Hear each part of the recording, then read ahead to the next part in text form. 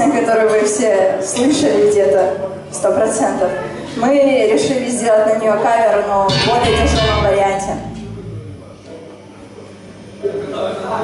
Да?